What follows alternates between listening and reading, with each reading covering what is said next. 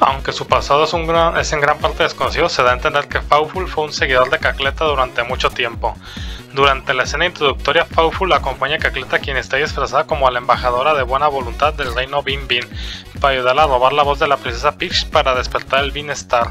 Mientras regresan al reino Bin Bin, son perseguidos por Mario, Luigi y Bowser, quienes habían formado una alianza temporal para detenerlos. Después de cuidar de Bowser, Fauful ataca a los Mario Bros, pero no antes de que destruyan su casco de vacío. Después de que se rompe, Fauful convoca otro casco de vacío para llevar el Copa Cruiser de Bowser del cielo antes de partir. Fauful es el segundo jefe del Superstar Saga. Luchar contra él no tiene mucha vida. Siendo un oponente temprano en este punto, Fauful tampoco tiene una gran variedad de ataques. En su primer ataque dispara bolas de energía verde a los Mario Bros. desde su sombrero. Y para evitar el ataque, el jugador debe mirar el color del texto cuando llama a los seres Finrax. Si el texto es rojo le dispara a Mario, pero si su texto es verde le dispara a Luigi.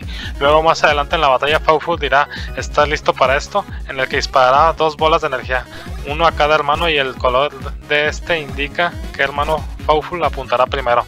Después de 18 puntos de daño, el casco de Fauful se caerá, lo que lo hará incapaz de disparar bolas de fuego. En este estado, Fauful solo tiene otro ataque. Puede correr hacia uno de los hermanos Bros y tratar de rodar hacia él. Este puede ser contrarrestado con un salto oportuno.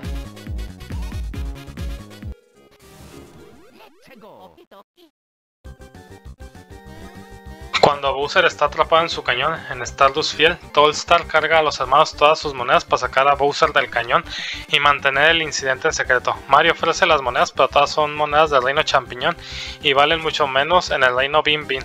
La cantidad total de monedas de Mushroom Kingdom siempre totalizará 10 monedas de Bin Bin, independientemente de cuántas tenga el jugador. Tolstar luego exige 100 monedas de frijol adicionales, y los hermanos deben buscar Stardust Fiel por ellos, ya sea derrotando a los enemigos o desde bloques. Al recogerlos, sin embargo, Tolstar todavía se niega a liberar a Bowser, y ataca a Mario y Luigi y comienza la batalla. Después de derrotarlo, los Bros están a punto de liberar a Bowser, pero el sargento Starshade, molesto con las quejas de Ray Koopa, le dispara desde el cañón, haciendo que se estrelle contra el inconsciente Tolstar, en partes desconocidas. Los hermanos avanzan a la aldea de Juju, donde son acusados de secuestrar al príncipe Pislish por las tropas de Bin Bin. Sin embargo, un Tolstar golpeado vuela usando las alas en miniatura sobre sus hombros para informar a los guardias que los dos son Mario y Luigi, que son duros y que no secuestraron al príncipe.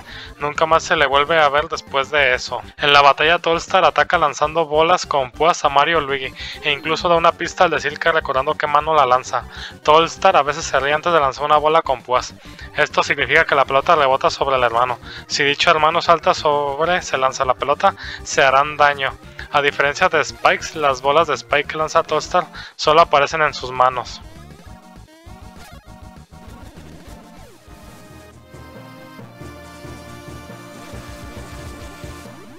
Cuando Mario y Luigi se encuentran con Jojoros, el ídolo de piedra pone a prueba la capacidad de los hermanos para usar la técnica Spin Jump a través de un minijuego cronometrado.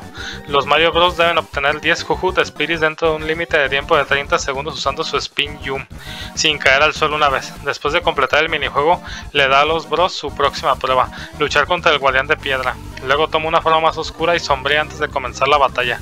Tras la derrota, Jojoros los felicita y permite que Mario y Luigi procedan con su próxima prueba de alcanzar la cima de la montaña. Los Horoglyphs circundantes brillan con cuando una plataforma se extiende para que los bros salten en alto y reanuden su ascenso. Al comienzo de la batalla, Jojoro se esconde dentro de uno de los dos pilares cubiertos de Jojoroglyphs. Cada uno de los pilares ataca sacando energía del suelo o del otro pilar y dispara un láser a Mario o Luigi, que debe ser esquivado saltando. Destruir el pilar bajo el que se esconde Jokoro hace que se mueva al otro pilar y convoque a otro para reemplazarlo. Esto requiere que los hermanos rompan primero el otro pilar. Destruir el pilar de Jojoros después hará que salga a la intemperie, donde puede ser dañado. Mientras está expuesto, Jojoros ataca disparando un rayo láser que barre el suelo. Los Mario Bros deben saltar sobre él uno a la vez. Después de un par de vueltas, el guardián de piedra intenta moverse al otro pilar como de costumbre, pero permanece expuesto si no está presente.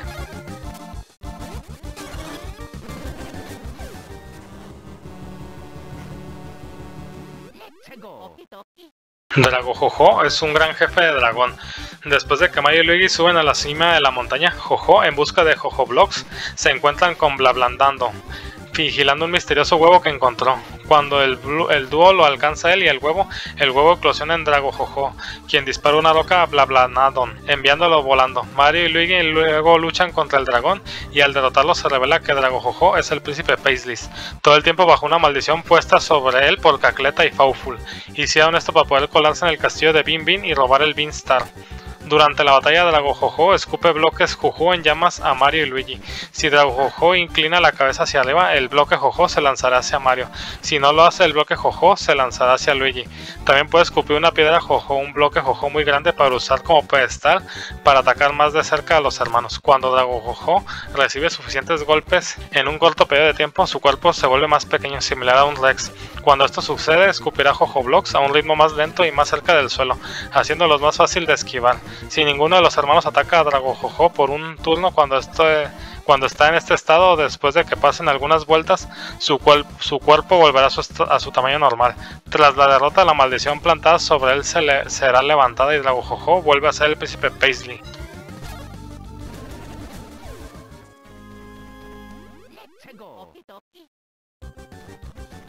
Durante el intento de Cacleta de apoderarse del reino Bin Bin, obligó a Queen Bean a tragarse un gusano Belly Blish, haciéndola poderosa pero enfurecida. Cuando Mario y Luigi llegan a la sala del trono, Cacleta envía a Queen Bean tras ellos, lo que lleva una pelea y la reina es noqueada. Después de la pelea, Lady Lima aparece y explica que la infección de la reina solo se puede curar a través de un refresco llamado Chucola Reserve que se encuentra en Chuclewoods Woods. Pero por el bien de Queen Bean, Mario y Luigi van al bosque. En su estado mutado, Queen Bean desarrolla una constitución más musculosa, sus pies crecen más grandes y sus ojos se vuelven rojos. Cuando Mario y Luigi luchan contra Queen Bean en este estado, ella inicialmente ataca a los hermanos golpeando sus brazos contra el suelo para crear una poderosa onda de choque que se puede esquivar saltando. Después de cada vez que la reina realiza este ataque, avanza un poco más cerca de los hermanos. Ella hará esto hasta que finalmente se acerca lo suficiente a los hermanos para atacarlos golpeando sus brazos sobre ellos, lo que puede ser contrarrestado por martilleo. Cuando Mario y Luigi usan su martillo para atacar el cuerpo de Queen Bean en ofensiva, ella se alejará más de ellos hasta llegar a su ubicación original en la batalla. El cuerpo de Queen Bean recibe muy poco daño de los ataques de martillo y ella contraataca salto con la corona afilada en la cabeza. Sus brazos, sin embargo, reciben el daño normal de los ataques de salto y no se ven afectados por los ataques de martillo en solitario, ya que están en el aire. Si solo queda uno de los brazos de Queen Bean, la batalla seguirá siendo la misma que cuando sus dos brazos están presentes, excepto que su ataque de onda de choque será más rápido pero menos poderoso. Finalmente, cuando ambos brazos de Queen Bean se degeneren, su corona se perderá, lo que la hará mucho más vulnerable a los ataques de salto. En este estado, la reina simplemente atacará escupiendo frijoles rebotando a los hermanos que pueden ser esquivados saltando. Sin embargo, si uno de los hermanos logra saltar sobre su frijol, en lugar de sobre él, el frijol se convertirá en un Beini y se unirá a la batalla junto a Queen Bean. Esto sucederá hasta que un máximo de tres estén presentes en la batalla. Después de dos rondas de batalla completas de los brazos de Queen bien degenerados y su corona desaparecida, su corona regresará, las armas se regenerarán, todos los frijoles en la batalla desaparecerán y todo el proceso se repetirá.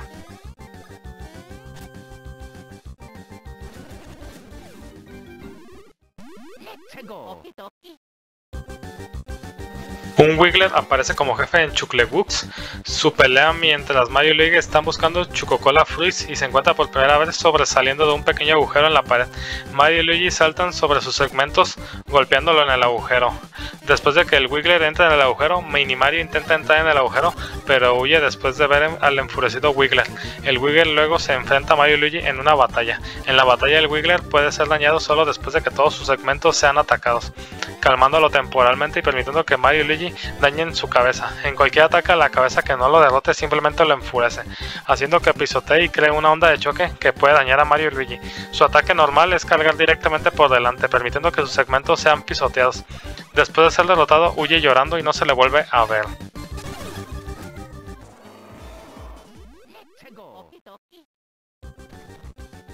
Los Mario Bros se encuentran con el Chocolator durante su búsqueda de una cura para salvar a Queen Bean de una enfermedad relacionada con Belly Bleach. Cuando solicitan parte de la reserva Bubbles, explica la cantidad de tiempo y esfuerzo que había invertido en perfeccionarla antes de mostrar a los bros Pople y Rockley que habían sido capturados tratando de robar la reserva Chucocola. Pople grita que el refresco no era una bebida ordinaria y que no podían hacerle frente. La propia reserva Chucocola cobra vida desde su cañón y ataca, enviando a los ladrones volando mientras Bubbles elogia la maravilla de su creación. Luego pone al monstruo detrás de Mario y Luigi, obligándolos a luchar contra él. Tras su derrota reforma su barril y se litera hacia adentro convirtiéndose en zona normal una vez más. Bubbles toma mal la derrota de su creación y destruye el suelo de su santuario, enviando el barril de Mario Bros y Chucocola Reserve a las cuevas subterráneas de abajo. Mario termina cayendo en el barril y Luigi finalmente lo encuentra y trae el barril de vuelta al castillo. Queen Bean se cura cuando Luigi salta sobre el Mario lleno de soda y rocía la reserva en su boca, eliminando el gusano Belly Bliss y devolviendo la normalidad. El Chucolator comienza con un escudo de madera hecho de parte de su cañón y es bastante resistente a los ataques basados en saltos. La mejor manera de dañar al Chucolator es destruir primero el escudo, que usará para protegerse de los ataques de martillo de Mario Bros. El Chucolator ataca disparando burbujas de soda desde su brazo derecho en forma de rifle. Esto se esquiva saltando, con el brazo derecho apuntando al hermano objetivo antes de que dispare. También puede alinearse con Mario o Luigi y usar el brazo izquierdo en forma de espada para enviar manchas de soda directamente a su objetivo. Estos deben detenerse con el martillo. Ambos proyectiles poseen los mismos ojos que el propio Chocolator. El escudo normalmente se usa en el brazo derecho y el Chocolator cambia el escudo a su fuera de mano cuando usa el, otro brazo para un ataque. El escudo permanece en cualquier brazo que sirvió por última vez como el fuera de mano. Esto no afecta su capacidad real para defenderse contra los ataques con martillo.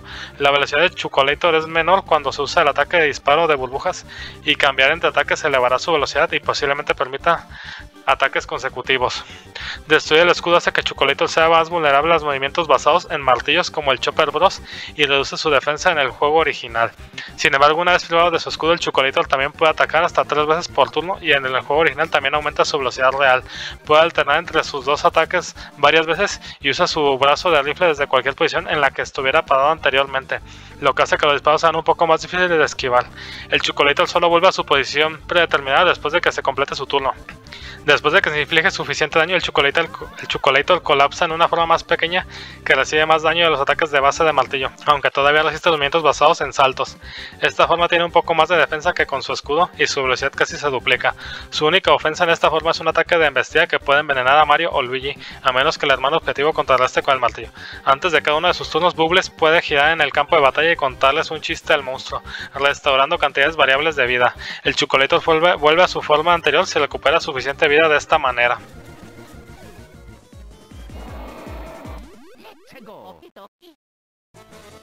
Cacleta va a Wuhu University para llevar a cabo sus planes con el Beanstalk transformado también a varios investigadores en Laser Sneak Chip. Después de que Queen Bean se restaura la normalidad y se repara la ciudad de Castillo, los Mario Bros, así como el príncipe Paisley, viajan a Wuhu University. El plan de Cacleta es contraproducente cuando intenta usar la voz de Peach poniéndola en robots llamados Peach Bots. Más tarde se revela que Tossworld y otros del Reino Champiñón cambiaron a la Peach con Birdo, a quien vistieron como la princesa Peach, ya que fueron advertidos por el príncipe Paisley de que estaba al tanto del plan de Cacleta. Como resultado, el Beanstar se pone furioso. Fallando el plan de Cacleta, en cambio, los Mario Bros vienen y le dan un ataque sorpresa, y Cacleta finalmente lucha contra ellos. Luchan hasta que Cacleta es herida.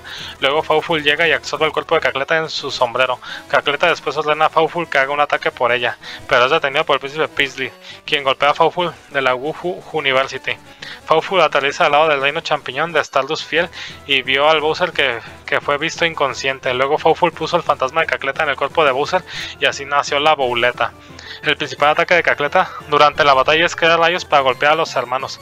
El brazo que levanta para este ataque muestra si atacará a Mario y luego a Luigi, Luigi y luego a Mario, o ambos a la vez. También puede crear dos clones de sí misma, por lo que cuando uno de los duplicados es atacado, se divide en un enjambre de murciélagos parecidos a Cacleta y ataca a los hermanos. No son muy peligrosos por lo que solo causan muy poco daño, aunque pueden dar veneno si Mario y Luigi hacen contacto y envenenan a los Mario Bros. Cuando el verdadero Cacleta es atacado, los falsos desaparecen.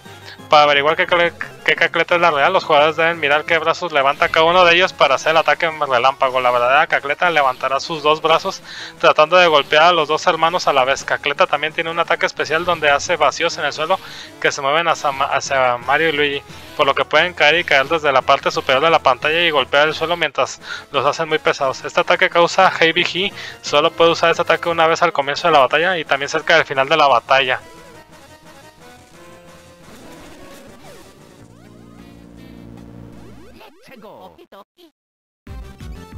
Los Mario Bros se encuentran con Rocky y Pople en Wuhu University en el sótano de la universidad justo después de que Pople encuentra el Beanstar que acaba de caer justo a su lado.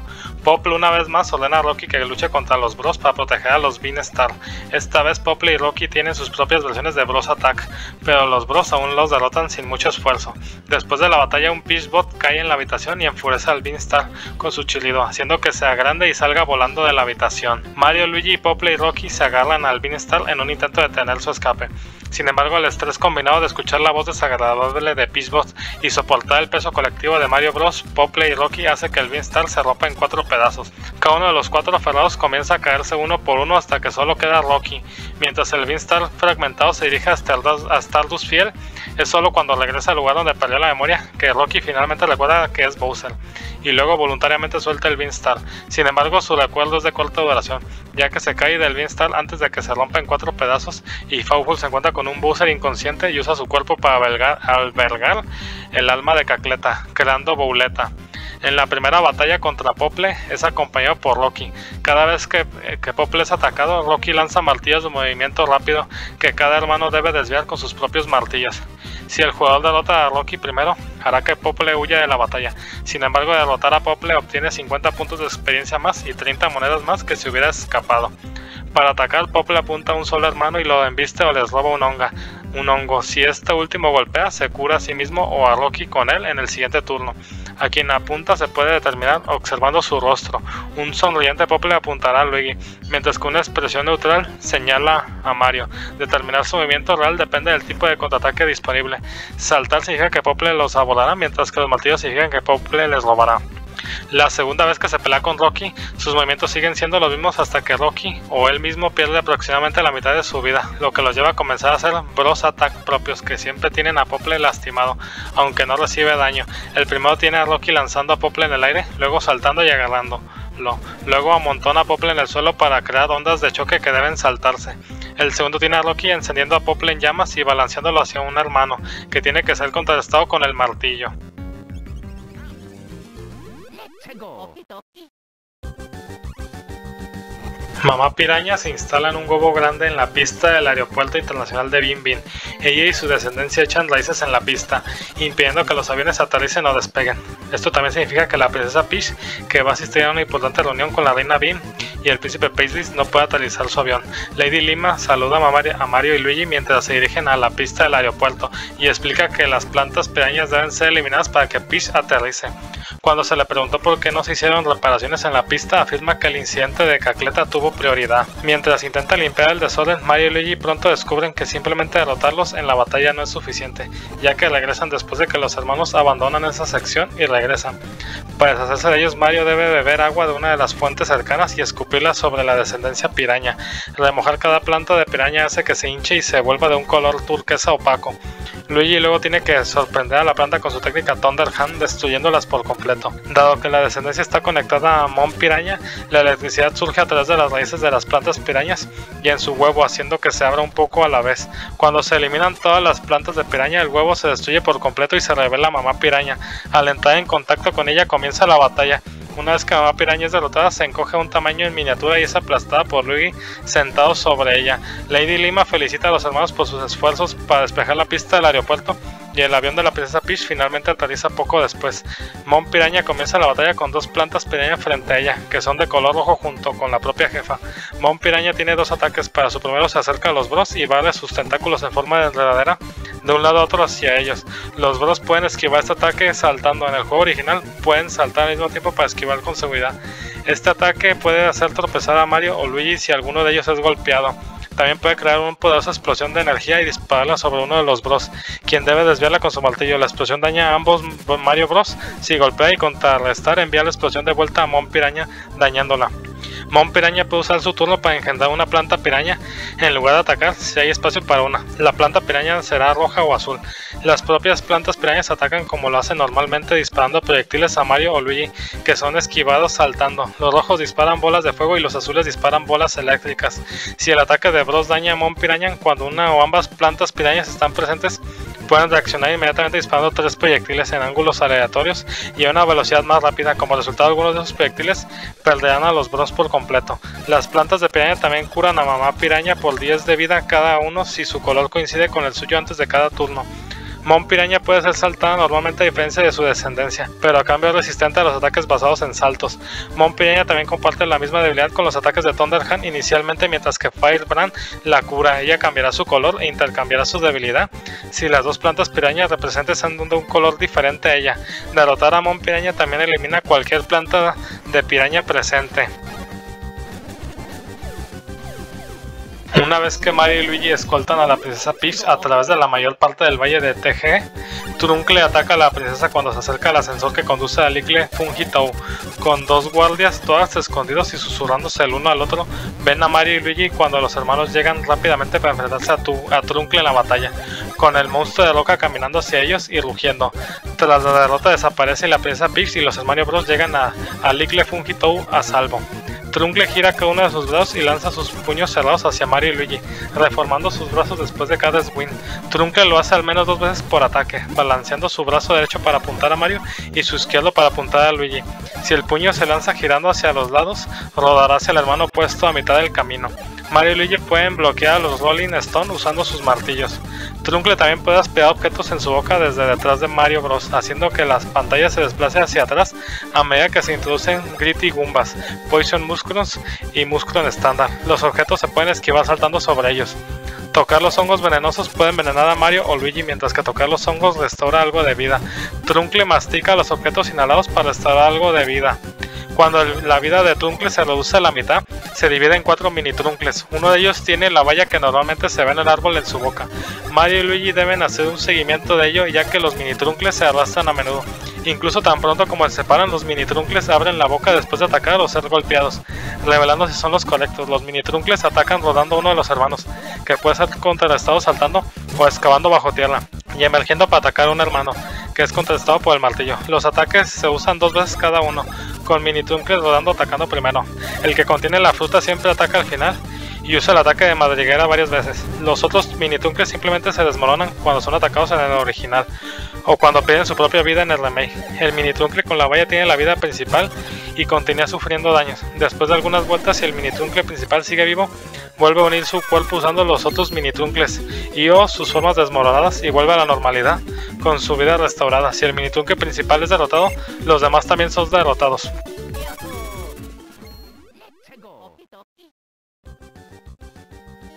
Cuando el Beanstar se rompe en cuatro pedazos, uno de los fragmentos termina en su posición. Hermie la coloca en la parte superior de su concha y logra decorar su concha con varios otros adornos con la ayuda de otros residentes de la laguna de Guajar, haciendo un árbol de Navidad. Cuando Mario y Luigi llegan, Hermie le pregunta si los Mario Bros vinieron a ayudar a decorar su caparazón, a lo que se niegan. Luego mira la ropa roja y el bigote de Mario y lo confunde con Santa Claus, causando que los Bros se enfrenten a la culpa. Uno de los residentes que ayuda a Hermie entonces se da cuenta de que Mario y lo reconoce. Cuando Mario confirma su identidad con un salto, ella llama a los demás de inmediato, haciendo que deje de decorar y amontonen a Mario. Cuando Luigi intenta alejarlo, el trío de repente se da cuenta de quién es y lo abarrotan en su lugar, haciéndole varias preguntas. La falta de atención hace que Hermie pierda los estribos y ataca a Mario y Luigi por interferir con la decoración. Después de ser derrotados, los bros explican la situación al cangrejo ermitaño, quien a regañadientes denuncia la pieza de Beanstar, mientras que los lugareños se disculpan por el comportamiento de Hermie, explicando que es loco. Los residentes luego los apuntan hacia un atajo que los hermanos pueden usar para cortar el viaje de regreso. Hermie III tiene un par de pinzas que pueden ser atacadas por separado, y a menudo se acerca a los bros para atacar extendiendo estas garras. La garra pulsa brevemente antes de lanzarse hacia el hermano frente a ella. Ocasionalmente pone una pinza normal hacia adelante como finta, luego cambia la otra. Los ataques de pinza pueden ser esquivados o contraatacados saltando, y dañar las pinzas lo suficiente los pone fuera de servicio temporalmente. Hermie III también escupe burbujas rosas que pueden envenenar a Mario o Luigi a menos que los bros los golpeen con el martillo. Después de su primer ataque de pinza, Hermie se frustra y aumenta su poder de ataque después de cada intento. Si su cabeza es atacada, Hermie inmediatamente toma represalias usando su ataque de pinza.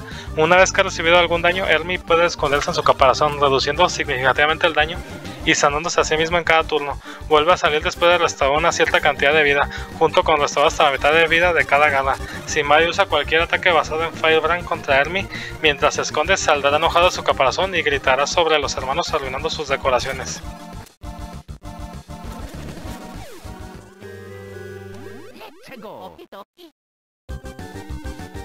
Después de recorrer todo el palacio, los hermanos encuentran a Jojora en su habitación, donde ella les pide que se sienten.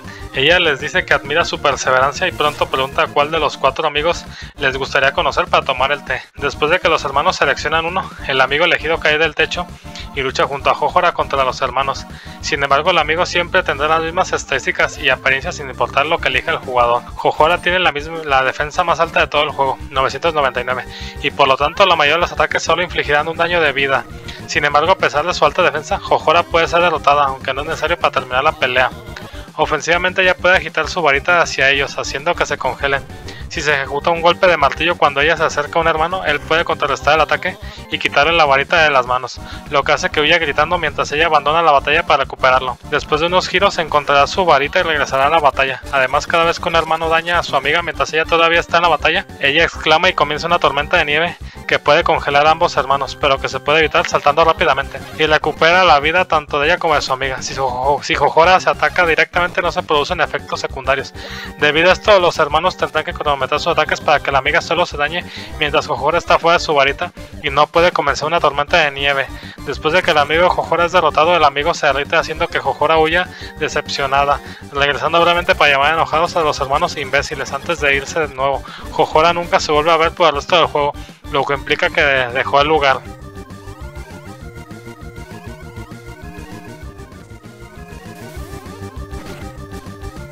Durante el juego, la bruja Cacleta, que previamente había robado el cuerpo de Bowser, toma el control del castillo de Bowser y usa la fortaleza para atacar Bim Bim Cascletou.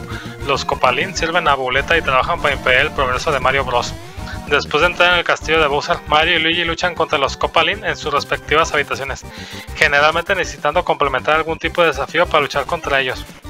Además, los últimos tres, Roy, Wendy y Larry, usan un Time Bomb Up especial en la batalla. Si Mario Bros. no logra terminar la batalla con éxito en 9, 7 o 5 turnos, el temporizador del Bomb On llegaría a cero y explotaría, lo que resultaría en un Game Over instantáneo. Los Copalins se encuentran en el mismo orden que en Super Mario World: Iggy, Morton, Lemmy, Ludwig, Roy, Wendy y Larry. Después de ser derrotado cada Copalin deja un punto de deformación para los Mario Bros. Sus ataques varían y son diferentes entre ellos, los cuales son lanzar bolas de fuego, girar como trompo para arrollarte, brincar para caer de pisotón creando ondas por el suelo, crear clones, girar dentro de su concha para investigar a los hermanos y aventar aros de energía.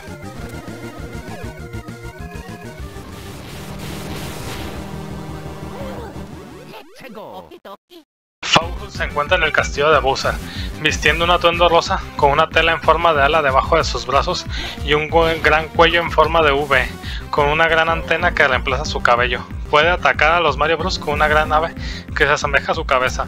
Después de su derrota, intenta hacer un ataque final para derrotar a los Bros, que se mete en una pelea con el príncipe Paisley y es noqueado fuera del castillo antes de que Mario y Luigi se enfrenten con Cacleta y su alma. Fawful se pelea de nuevo como el penúltimo jefe. Esta vez es mucho más fuerte y lucha desde dentro de una nave gigante que se asemeja a su cabeza. La nave protege completamente a Fawful y dispara potentes láseres a ambos hermanos. A diferencia de su primera batalla, Fawful tiene muchos ataques diferentes, algunos de los cuales pueden durar un tiempo. Durante la batalla puede esconderse en su nave defendiéndolo de todos los ataques. Utiliza su nave para realizar algunos de sus ataques. El principal ataque utilizado por su nave es disparar rayos láser que se mueven alrededor de los hermanos, tratando de golpearlos. A veces cuando es el turno de Fawful de atacar, sale de su nave por un breve momento y dispara más rayos láser desde su antena. Las sombras creadas por los pernos aparecen sobre uno de los seres, lo que permite al jugador saber a qué personaje se está apuntando. Para evitar el ataque, los Mario Bros necesitan golpear los pernos con sus martillos y enviarlos volando a Fawful, golpeándolo por una pequeña cantidad de daño. Además, cuando la nave es golpeada cuatro veces, Fawful se enfurece y gira disparando más pernos láser a los seres para que contrarresten con sus martillos. Después de que los pernos giran alrededor de la área dos veces, los Bros ya no pueden usar sus martillos, lo que hace que salten sobre los pernos restantes. Después de golpear su nave cuatro veces, la nave finalmente se sobrecalienta, haciendo que Fawful se quede fuera del vehículo durante tres vueltas. Cuando esto sucede, Fawful no atacará hasta que los tres turnos hayan pasado.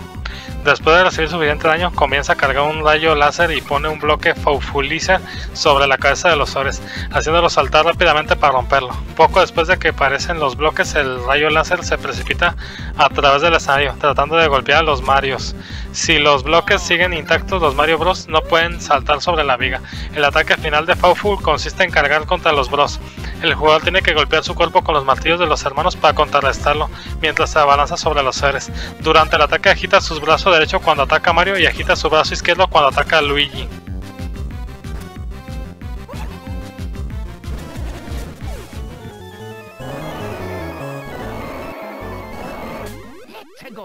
Bouleta y Fawful se dirigen al Reino Champiñón, donde vuelan el castillo de Bowser de regreso al Reino Bin Bin y atacan la ciudad del castillo. Después de que Mario y Luigi llegan al castillo a través de Blablanadon y llegan a la sala del trono donde Bouleta está esperando, ella revela que tiene la intención de hacerse cargo del Reino Champiñón después de que haya terminado con el reino Bin Bin y luche contra Mario Bros. Cuando Bouleta es derrotado, un Time Bomb Om aparece y noquea a Mario y Luigi. Bouleta, habiendo fingido su derrota, entonces procede a inhalarlos y tragarlos. El primer ataque de Bouleta usa Flaret, dirigidos a los hermanos y disparados al azar rápidamente. Tres, sin embargo, se usarán para que Boleta lo use en un turno posterior para curarse a sí misma. Para evitar esto, los bros deben martillarlos o saltar sobre ellos con las insignias adecuadas equipadas para deshacerse de ellos cuando sea su turno. Sin embargo, el uso de fuego o trueno curará a los flarets. También puede invocar bloques sobre las cabezas de los bros. Deben romper los bloques con una cantidad requerida de saltos en 5 segundos para poder incluso evadir las corrientes de fuego que hace. Cuando Bouleta se transforma en una forma más oscura, convoca estrellas fugaces para golpear a los hermanos. Las estrellas verdes golpearán a Luigi, las estrellas rojas golpearán a Mario y ambas estrellas dañarán a Bouleta si se contrarrestan con un martillo. Las estrellas moradas que también caen no dañan a nadie. Si Mario y Luigi no contrarrestan las estrellas con sus martillos, existe la posibilidad de que se mareen. Esta forma de boleta también es peligrosamente superficial y dañará a los bros, si intentan usar ataques de salto sin las insignias adecuadas necesarias para dañar a boleta.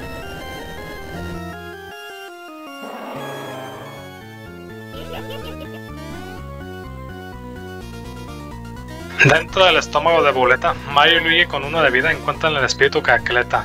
Dentro del cuerpo luchan contra ella. Después de que Cacleta es derrotada, su espíritu abandona el cuerpo de Bowser desapareciendo después y Bowser regresa a su forma original. Los hermanos comienzan el jefe final con uno de vida, por lo que se recomienda que se curen rápidamente en su primer turno. En la batalla Cacleta usará ataques de aura contra los Mario Bros. y deben destruir sus dos brazos y su cabeza para exponer su corazón.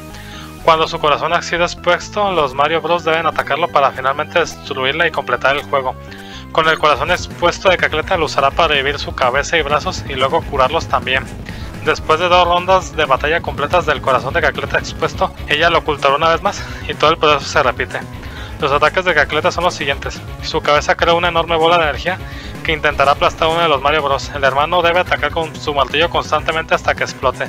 Si se cronometra correctamente, los hermanos pueden golpearlo dos veces en un solo swing, aunque esto es muy raro. Ella estira los brazos hacia los Mario Bros tratando de moverlos. Esto se puede contrarrestar martillando las manos rápidamente. Su mano derecha convoca a dos bolas de fuego para girar alrededor de Mario Bros, que deben ser esquivadas saltando en el momento adecuado. Su mano izquierda convoca una bola de electricidad, que, debe ser golpeada con un martillo. Golpearlo hará que se deslice hacia el siguiente hermano y este debe repetirse hasta que se rompa. Sus manos también pueden atacar barriendo a los Mario Bros. Los hermanos deben saltar sobre un brazo cuando sus ojos apunten hacia abajo y permanecer quietos cuando estén arriba. Este ataque requiere que todas las partes de su cuerpo estén disponibles. La cabeza de Cacleta también tiene la capacidad de curarse parcialmente a sí misma o a uno de sus brazos o corazón, solo cuando está expuesta. También puede aumentar el poder de ataque de sí mismo o de uno de sus brazos. Cuando la vida de Cacleta se reduzca a la mitad o menos, tendrá tres nuevos ataques. Ella moverá sus ojos hacia arriba o hacia abajo, indicando dónde va a disparar un rayo para cada hermano. Si sus ojos se mueven hacia arriba, ella va a disparar hacia arriba. Si se mueven hacia abajo, ella disparará hacia abajo. Unos segundos más tarde detendrá el tiempo antes de disparar las vigas, obligando a los hermanos a saltar o pararse en la posición correcta antes de tiempo. Este proceso se repite varias veces antes de terminar finalmente. Ella invoca un espejismo de Fawful que dispara corrientes de bolas de energía a los hermanos antes de acercarse a uno de los hermanos. Mario o Luigi deben golpearlo rápidamente con un martillo, de lo contrario continuará disparando más bolas de energía. Otro ataque es crear bolas de aura. Las bolas rosas apuntan a Mario mientras que las bolas verdes apuntan a Luigi. Las bolas también se teletransportan a diferentes partes de la pantalla. Además, si los hermanos intentan atacar la cabeza mientras una o ambas manos están todavía activas, las manos contraatacarán inmediatamente después, ya sea barriendo el piso o tratando de mover el hermano que acaba de atacar.